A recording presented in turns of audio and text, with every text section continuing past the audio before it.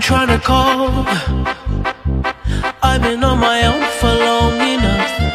Maybe you can show me how to.